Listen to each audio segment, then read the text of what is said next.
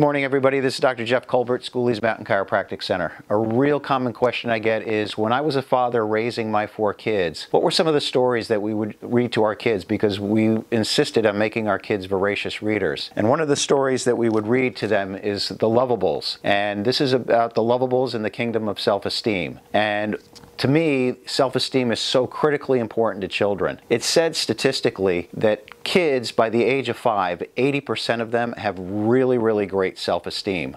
And the question I have is why do kids at five, 80% of them have a great self esteem? Because I've noticed with my children and my grandchildren that from the moment they were born, as long as we gave them love and affection and took care of their needs, all they did was grow in self esteem. But what happens to the kids between birth and five? And then the saddest statistic is what happens to the kid from 5 to 18 years old. Because it's reported then that it's not 80% of the kids have a great self esteem, it is now only 20% of the kids that are graduating high school have a great self esteem. And the problem with having a, a lower self esteem and not a great self esteem is that you tend to want to change your state. And what kids start to do is changing their state by reaching out to things to help them alter their state of being. As opposed to having love and kindness and growth and support, they turn to things like their peers, and sometimes peers are not always the best influence. They can turn to food and become food addicts because food satisfies their need for feeling better. They can turn to drugs and they can turn to alcohol, they can turn to sex, and they can get into all sorts of troubles by looking for something that is going to fulfill and raise their self-esteem other than the love that they should have been getting right from the get-go. So The Kingdom of Self-Esteem and the Lovables is a book that is just based on a Every letter of the alphabet has something associated that helps to raise a child's self-esteem. It is also based on beautiful, brilliant colors, and it's related with animals. So you'll see that there's monkeys in here. You'll see that not only are there monkeys, but there's owls, and there's lions, and there's deer, and there's doves and there's peacocks and there's zebras and there's kangaroos and horses. You know, all the typical animals that kids love to be associated with. This would be a book that I would highly recommend. The Lovables in the Kingdom of Self-Esteem.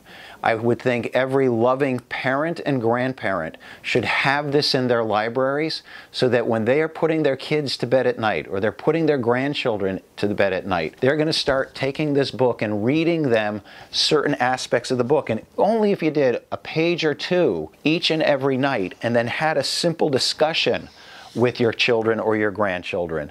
So I just picked a page at random, and this has the buffalo and the beaver okay?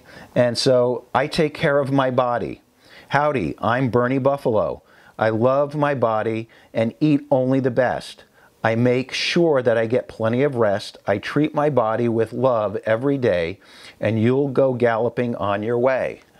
I take care of the world around me. Hello, I am Buddy Beaver. I take care of rivers, skies, and land. For all of nature is so grand to your world you too can give loving care so the earth may live.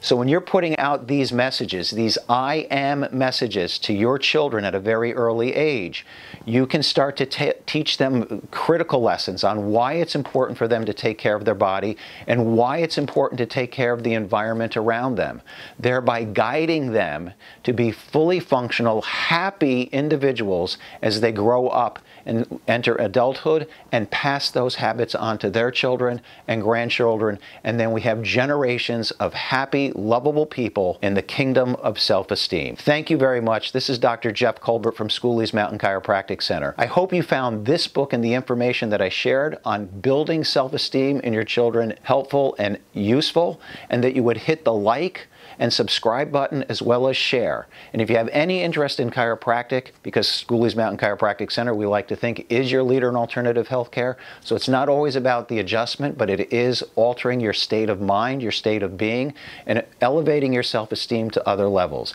You can always visit our website, Schooley's Mountain Chiropractic Center, smcc4u.com. Visit the patient section, sending us an email, give us a phone call. There's never a charge for a consultation. We'd love to see you in the office this, but most importantly, we'd love you to be able to share the kingdom of self-esteem, the lovables, with your children and your grandchildren. This is Dr. Jeff Culbert from Schooley's Mountain Chiropractic Center, signing off, wishing you a great and a happy day.